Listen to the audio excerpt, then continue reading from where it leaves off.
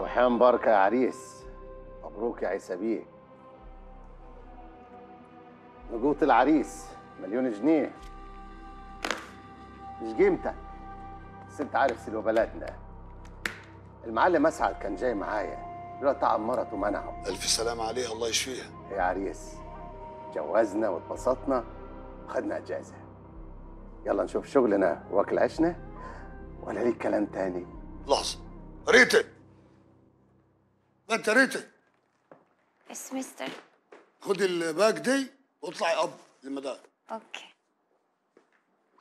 كنا بنقولوا إيه؟ ولا ليك كلام تاني؟ آه.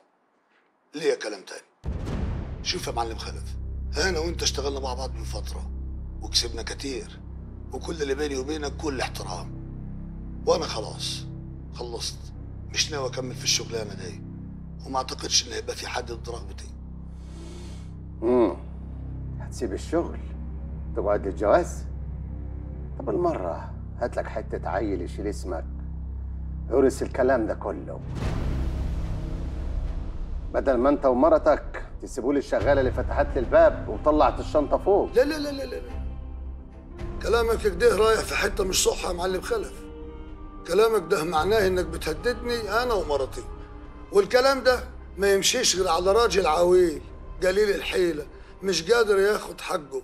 لكن أنا لا. والتركيبة نفسها كده مش لايقة علي. والله العلي العظيم يا معلم خلف. لو حد بس فكر يأذيني أو يأذي حد يخصني أو يأذي حتى الشغالة اللي خدت مني الشنطة ورب العزة أقطع نسله.